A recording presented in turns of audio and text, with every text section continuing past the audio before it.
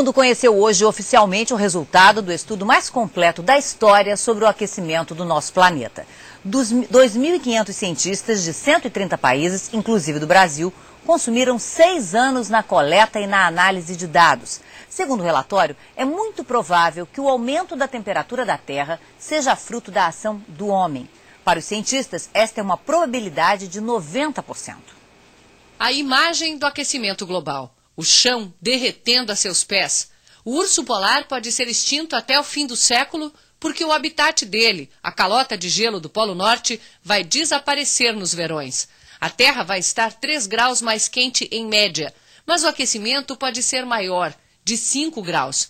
Se o ar quase sólido de poluição faz parte da rotina nas cidades chinesas, o inverno com temperaturas bem acima de zero chama a atenção. O país, que em 2009 deve se tornar o maior poluidor do planeta, depende do carvão para gerar 85% da energia que toca seu crescimento econômico e acelera o degelo do Himalaia, que vai agravar ainda mais a falta de água na China.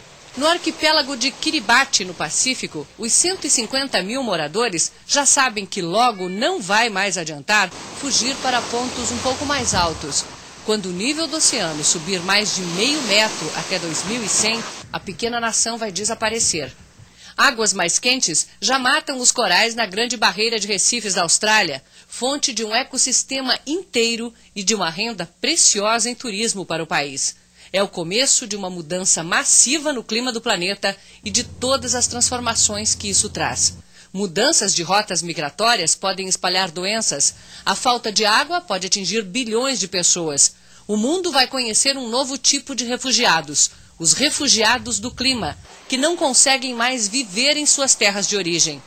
Combustíveis fósseis são os principais vilões, mas a atividade agropecuária, que derruba florestas e emite metano e óxido nitroso, também contribui para a destruição do planeta como nós o conhecemos e a criação de outro, em transformação para pior.